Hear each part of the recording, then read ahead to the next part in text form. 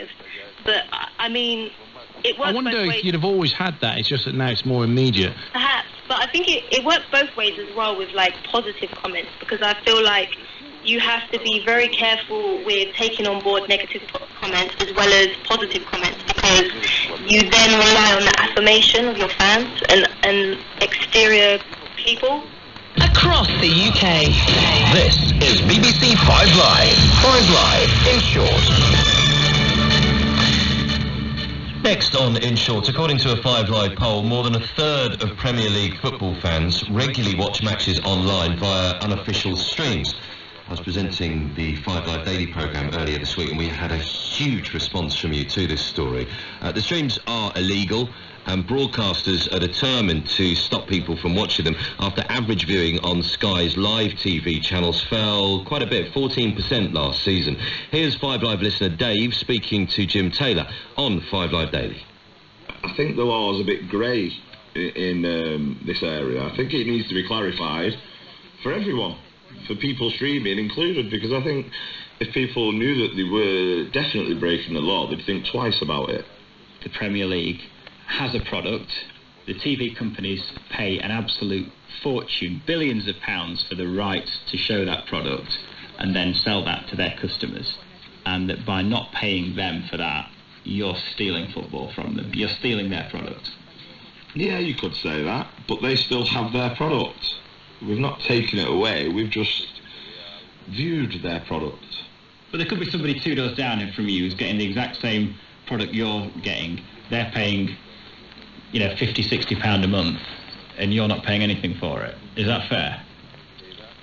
Um, if I didn't watch that pro that football match the way I'm watching it, they would still have to pay that money, wouldn't they?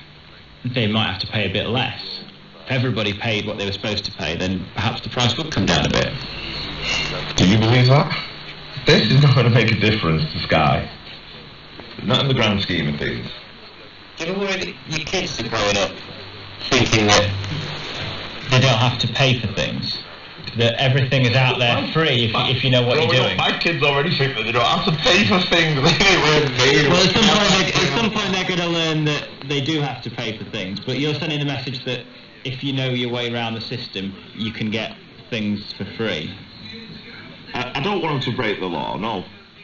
And So you want to see somebody prosecuted for doing what you're doing. I don't want to see anyone prosecuted. That's But that would then that would then tell you that what you're doing is wrong. I think it'd send out a, send out a warning, and I think a lot of people would think twice about it. I'd stop. I'd, I'd happily go to the pub. Mrs. wouldn't be happy about it, but I, I'd, I'd be all right with it.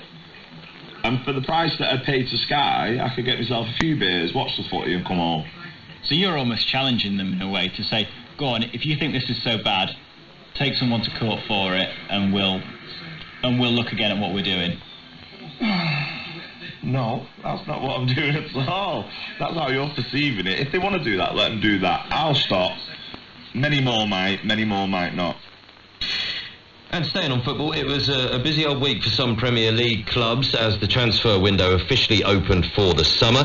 Arsenal were one of the clubs involved. They confirmed Andre Lacazette as their new club record signing.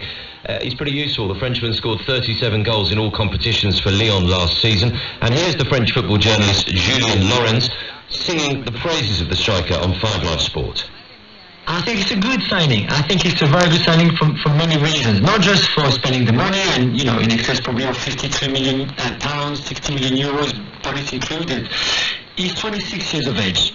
Uh, someone was telling me yesterday, the first time that Gilles Grimandi went to watch Alexander Gilles is the former Arsenal player, who is the, the French scout for Arsenal. The first time he went to see Alexander Lacazette uh, on behalf of Arsene Wenger and Arsenal was 10 years ago when Lacazette was 16 and already then Arsene Wenger had you know had interest in him. And, and, and, and for those 10 years they've looked at him so many times year after year not always convinced.